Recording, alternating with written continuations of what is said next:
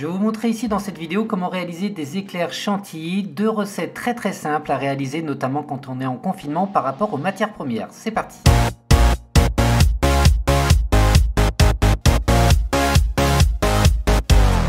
Dresser des éclairs pour la cuisson. Donc, on remplit la poche, on laisse tomber la pâte.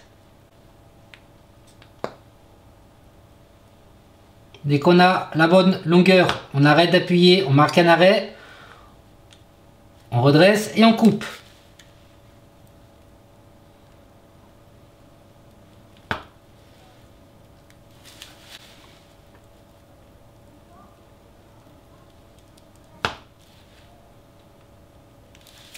Avec la dorure, on va venir avec le pinceau disposer un peu de dorure. On enlève l'excédent. Hein. On vient comme ceci dorer le dessus. La fourchette, on va donner un coup de fourchette. Donc là, on a une douille unie. J'appuie que très légèrement et je fais une ligne droite. J'appuie très légèrement et une ligne droite. Ça va permettre à l'éclair de cuire correctement.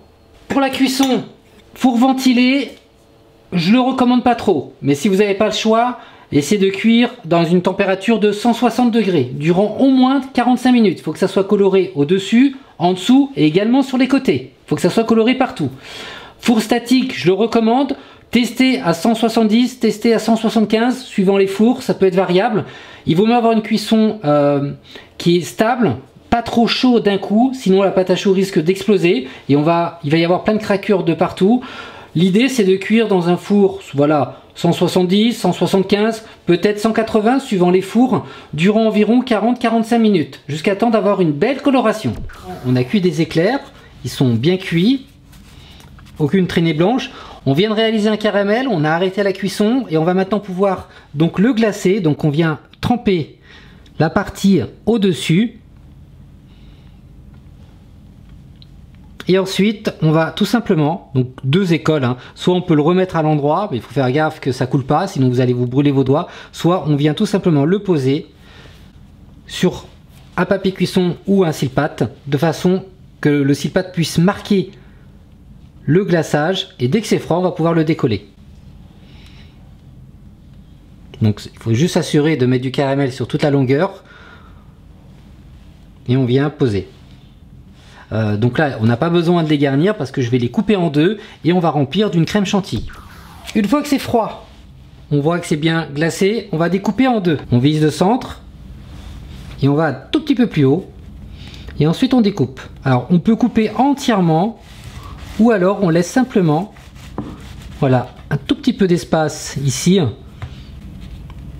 pour venir écarter et on maintient donc ça se décolle parfaitement hein.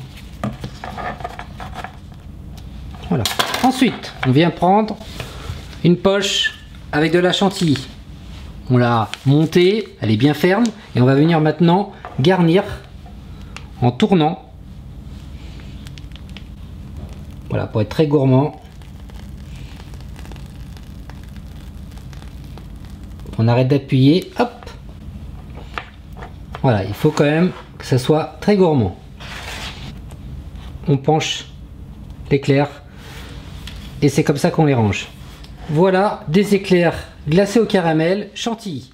Et voilà pour cette petite vidéo très gourmande, j'espère qu'elle vous a plu. En tout cas, euh, là ici, c'est un extrait de ma formation CAP en ligne, mais tout le monde peut la faire. Euh, faites une belle pâte à choux dans un premier temps. Vous pouvez évidemment faire des choux au lieu des éclairs si vous le souhaitez. Imaginez évidemment des fruits avec la chantilly.